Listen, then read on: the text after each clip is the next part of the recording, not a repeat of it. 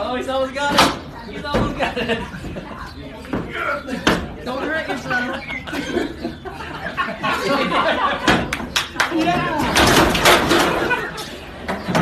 Pop can do this.